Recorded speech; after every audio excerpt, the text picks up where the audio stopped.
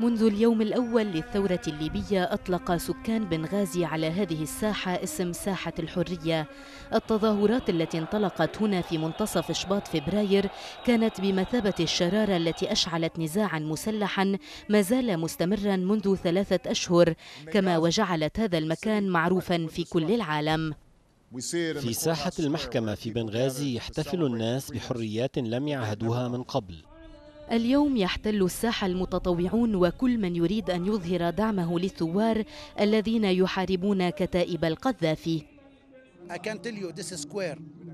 أستطيع أن أقول لكم أن 70 أو 80% من سكان بنغازي الكبار والشبان والأطفال والنساء يأتون إلى هذه الساحة وكل من يأتي إلى هنا يشارك.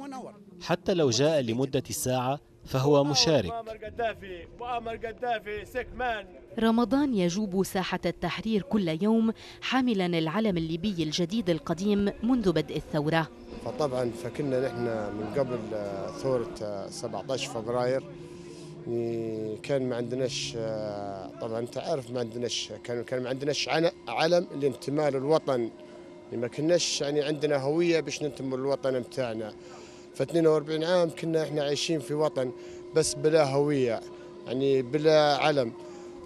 فعندما جاء علم الاستقلال فشعرنا بالانتماء للوطن.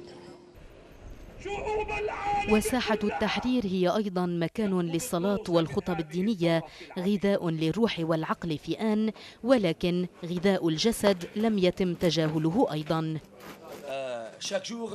كل يوم نعد الشطائر لعشرة آلاف إلى خمسة عشر ألف شخص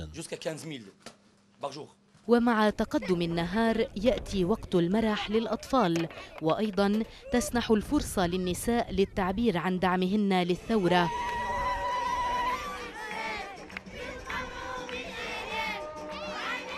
وفي الغد ستتابع ساحة التحرير روتينها اليومي حتى الوصول إلى الحرية الكاملة مهما تطلب الأمر من وقت.